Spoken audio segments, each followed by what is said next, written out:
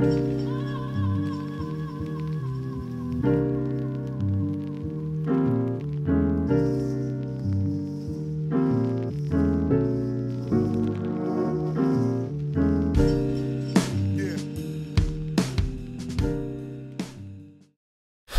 in this video, in this video, I'm gonna be making tater tots. Now, all you need for this is Idaho or these Yukon Golds. I'm gonna go with these right here. Now my tool of choice is going to be a mandolin. I'm also going to be using this attachment for it. You don't need this. It makes life easier though if you got it. If not, you could chop it up really small in a food processor or with a knife. Now before we get started, don't forget to like the video, subscribe if you're new here. Let's go ahead and jump right into this. Okay, so as you can see, I'm using the mandolin, just like I said I would. Get it all chopped up really nicely, just like this. Now once you got your strips all cut up, I just dropped it into some butter. I barely clarified it. And what we want to do here is not really cook the potatoes all the way. We just want them to come together. So just keep stirring it until it starts to clump up and release all those starches. Just let them do their thing. Right until they come together just like this. So once you've got that, Go ahead and strain it right out of the fat.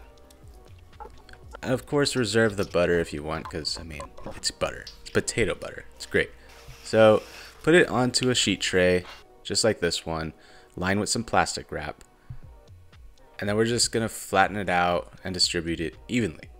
Cover it with more plastic wrap. And then just give it a couple pats. Flatten it down. And then put something flat on top of it like another sheet tray. Okay, now I'm just gonna throw this in the fridge and then maybe I'll find something heavy to put on top, like a jug of milk or something. Now we're just gonna completely chill them until they come together and then we'll take them out and we'll do the rest.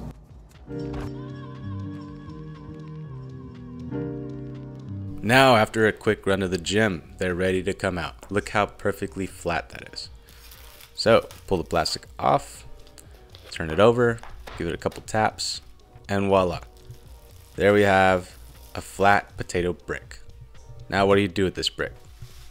Well, you can cut it however you like.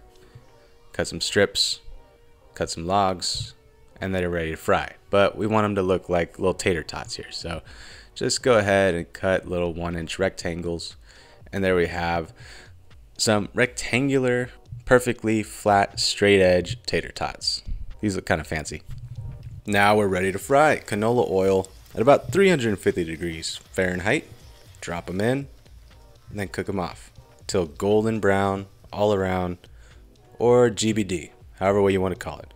Pull them out, drop them all into a bowl just like that and then season it. Toss, toss, toss, season well with salt and pepper if you want to. And the video's done. Bye. Oh, just kidding. I'm gonna make some Dijonnaise. So this is going to be a great sauce. Garlic, some Dijon mustard, horseradish, an egg, another egg. Go ahead and give that a blitz. Add canola oil slowly until it comes together into an aioli.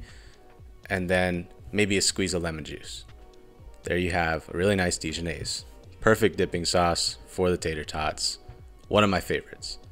And stack them like a pyramid because they're fancy tater tots. Why not? Thanks so much for watching. I was really excited to bring you all this recipe because Life is just better with potatoes.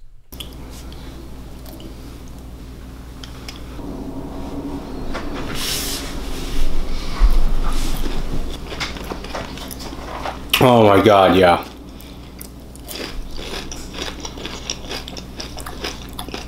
This is so good.